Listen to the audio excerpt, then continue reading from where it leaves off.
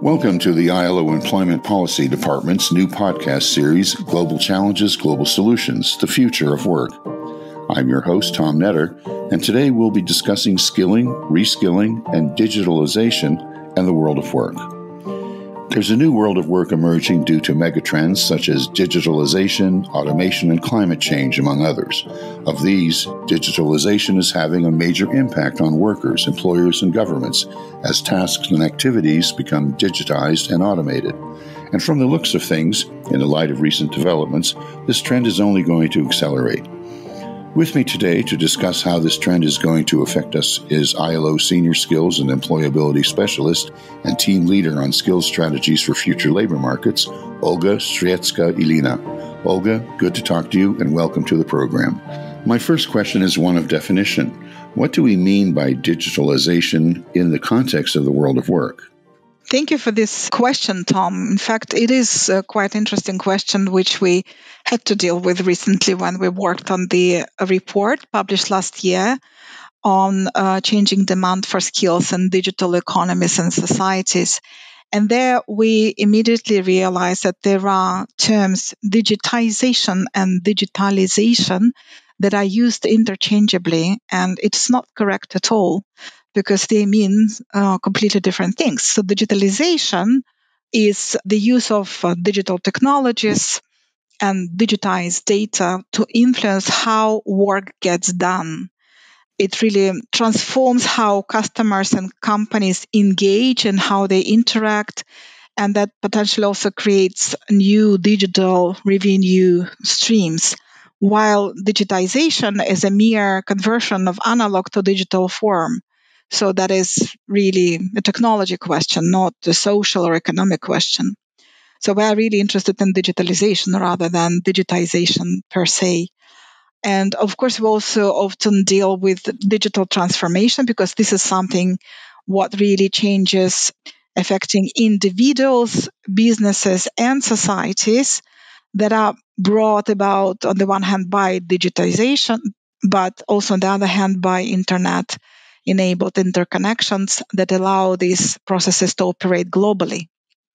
So, digitalization indeed is really something that influences the world of work and the, wor- the way we work, the way we live, and also potentially it influences um, to a great extent uh, employment itself because there could be sizable employment challenges there are a lot of fears that uh, some jobs may be destroyed by substitution by technology. But we also know that due to the jobs which are created in the value chain, uh, these are indirect jobs and jobs which are created as a result of reinvestment of profits. Uh, these are induced jobs. The overall employment effect uh, is expected to be positive. Uh, so we, we, we don't really fear that there will be a negative effect, but this doesn't happen by default. That requires very good policies.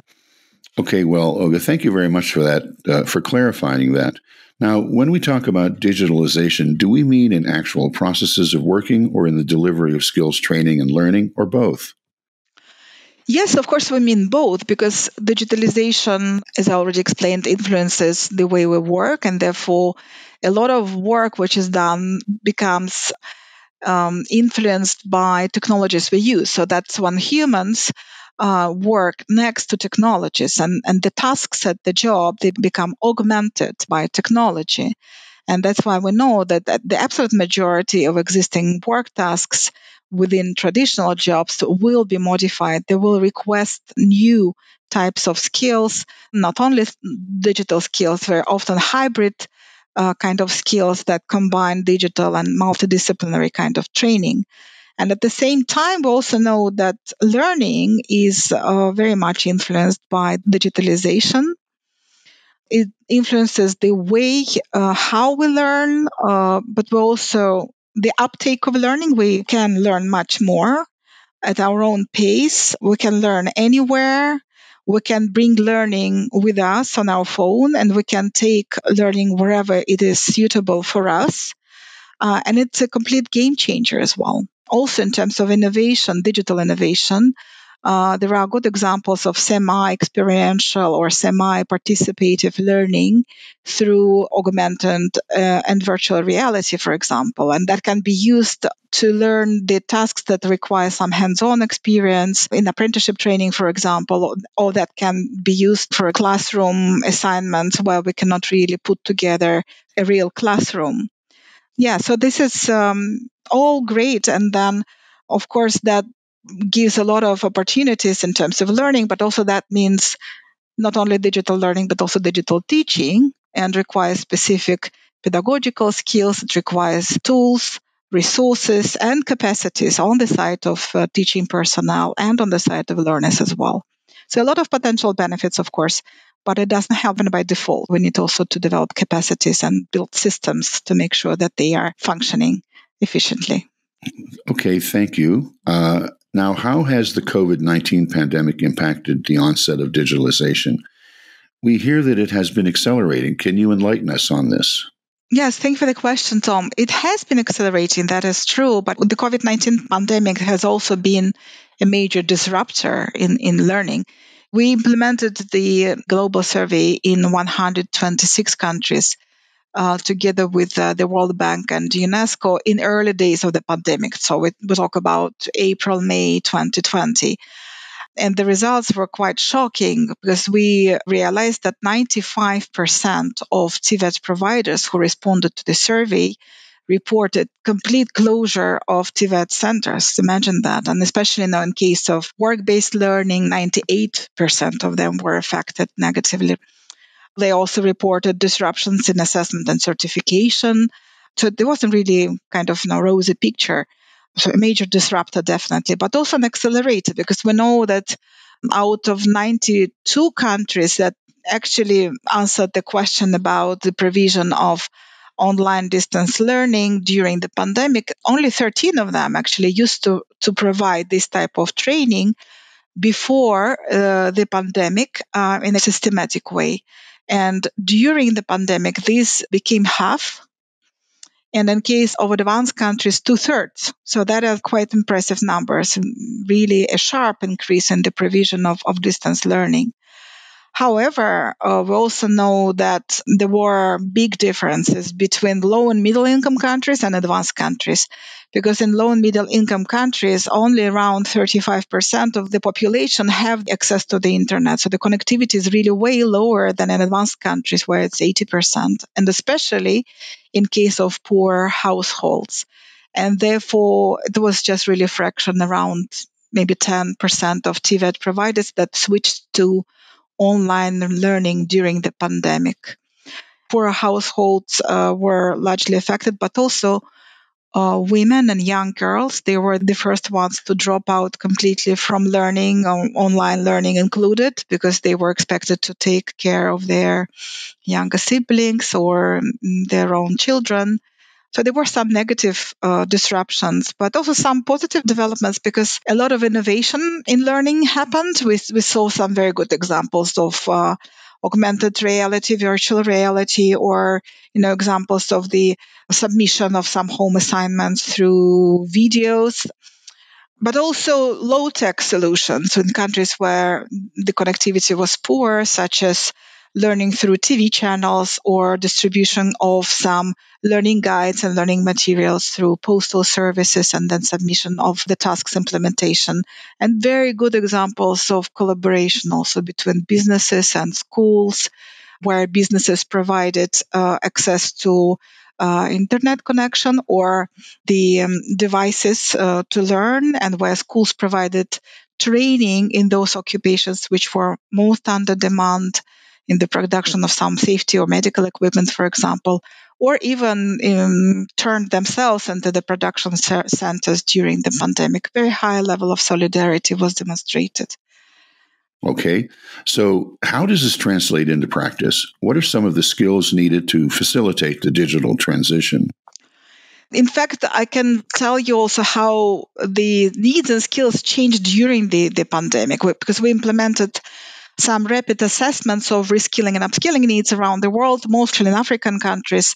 But I think altogether we had something like 15 countries covered. And that is interesting that equally, employers, workers, and job seekers report that digital skills become very important in their current job or in the potential job for which uh, people can be hired. They all recognize that equally. And also, they all recognize the importance of skills, especially employers, um, that became urgent for teleworking because we all had to switch online and suddenly all of us had to learn how to use Zoom, Teams, Google Meet, Skype, WhatsApp, YouTube. Um, so yes, uh, these became important, but also what is interesting, some skills that are sort of accompanying digitalization. These are not digital skills. This could be even a soft skill, such as teamwork. But it won't be teamwork in the traditional sense. That would be a teamwork which is happening online and very often in a global setting. So that's what became uh, important also as a result of digitalization recently. Very often there are reports about the needs of digital skills without little explaining about them what they are. And many people would think that these are kind of the basic skills of ability to process uh, documents and word processing software or you know, emails or social media skill. But there are also medium and advanced skills which are very needed. And some of them are cross sectoral, such as coding or cybersecurity or data analytics. But a lot of them are very specific for sector occupation because they are also specific software programs used very widely in tourism, specific software programs for construction, for manufacturing. And these are also getting distributed through supply chains. The, the technology transfer happens to developing countries. And even though they are not perhaps now using to, to the same degree medium and advanced skills, digital skills, as in advanced countries, this is happening. They are catching up and quite quickly. So these skills are also needed, including in developing countries. And also, very often we speak about really good technical skills, such as engineering or electrician, and hybrid skills. For example, when a plumber needs to have some skills of an electrician and also understand how home solutions and renewable energy work and how they are connected to the Internet of Things. So this is one example of what is actually happening on the labor market. The same plumber also has to have very good soft skills such as communication to be able to advocate for certain solutions with a potential customer. So that's a quite complex picture.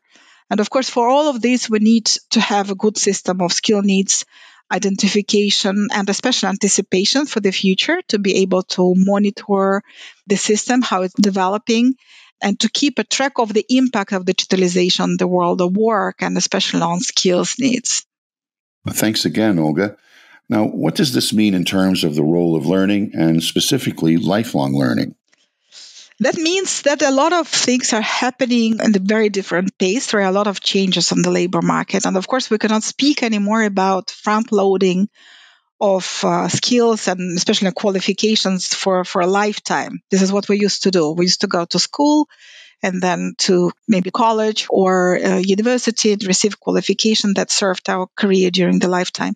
This is not going to happen anymore because people will need to change jobs and therefore they have to have uh, an opportunity to reskill and upskill and sometimes even to retrain to completely new occupation. And digital skills, of course, are very important in this mix of measures that have to be implemented.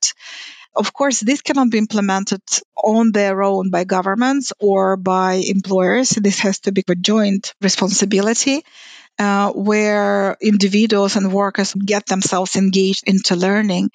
And for this, we need quite good systems of uh, shared responsibility, not only in governance, but also in co-funding, because we need really sufficient investments into lifelong learning to make sure that everybody has access to lifelong learning.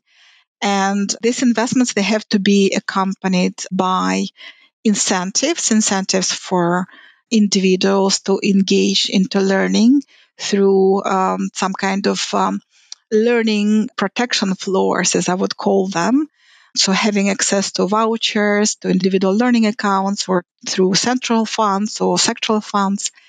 So incentivizing learning, but not only financially, also incentivizing in terms of recognizing uh, the skill received, um, assessing, validating, certifying, and eventually using.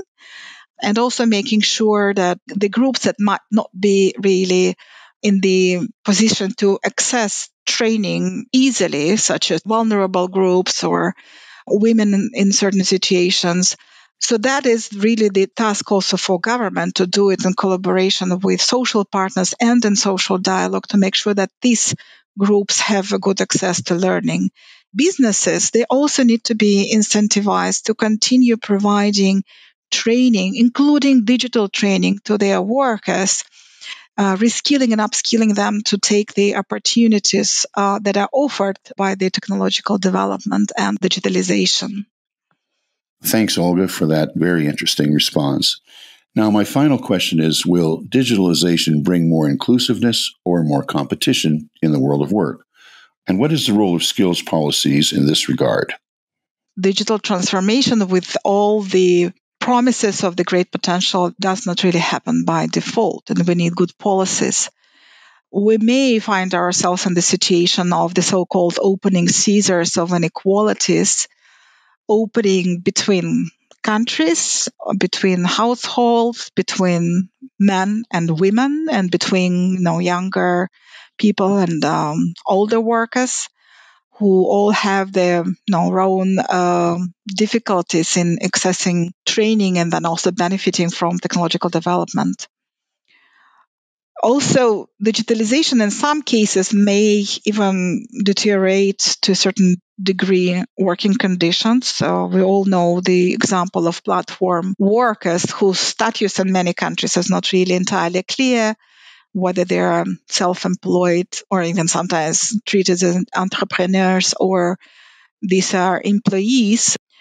Therefore, this often results in the lack of social protection and lower wages and lack of occupational safety and health, and also a lack of access to training. But as we already discussed, digitalization does open up uh, enormous opportunities. It really makes the cost of training potentially lower and potentially it may grant access to training everywhere at any time. And this is very important, especially for people like rural workers or people in remote areas. Uh, it's very important for full time and part time workers who might not have time to follow training during the day and then suddenly they, they can have access to digital learning when when they finally have time and at their own pace the same applies to mothers of young children and especially people with disabilities.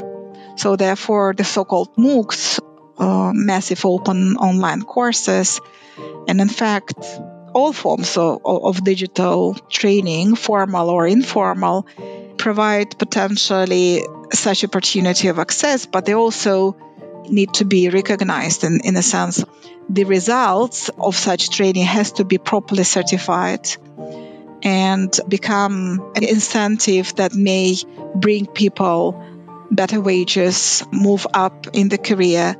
So that all really depends on policies. I think this is the message that I'm trying to send. Thanks again, Olga, for sharing your knowledge and expertise on this issue. It's always very informative talking with you. It's clear that digitalization is here to stay and is changing the nature, mode, and pace of work. Within this context, the skilling and reskilling of workers is going to be essential if enterprises and industries are to maintain and increase productivity, effectively manage future shocks, sustain the well being and livelihoods of workers, and create decent jobs. This will be crucial to guiding training and investment now and in the future and providing a roadmap for meeting the evolving skills challenges of digitalization facing workers throughout their working lives and employers. I'm Tom Netter, and you've been listening to the ILO Employment Policy Department podcast series, Global Challenges, Global Solutions, The Future of Work. Thank you for your time.